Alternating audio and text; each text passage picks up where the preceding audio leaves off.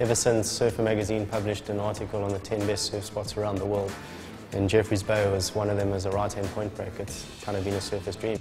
It's one of those destinations that they, they mark off on the map. When you're a kid, you always like look at a big map of the world and you go, I want to go here, here, here, here. And Jeffreys Bay is definitely one of those places. Being part of the Blue Billabong Pro for me is massive. Um, I've been watching it every year since I've been 11 or 12 and always aspired to be in the event here at Supers.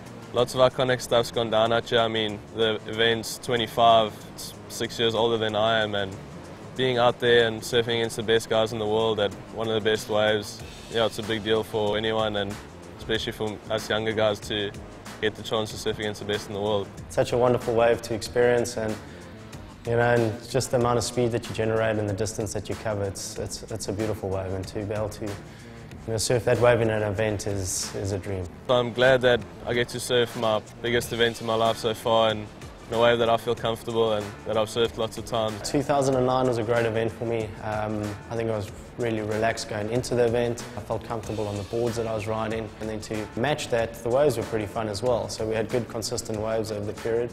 I've pretty much just got my regular shortboard for on the smaller days, un anything until about three, four foot and um, I've got a rounded pin for obviously anything bigger, and and then I've also got a step up for like you know the, everyone knows the strong winds in winter and pedaling strength and all of that. I'll be riding probably what I usually ride out at J Bay, maybe playing around with a few channels or clinker bottoms, and then also a favourite rounded pin.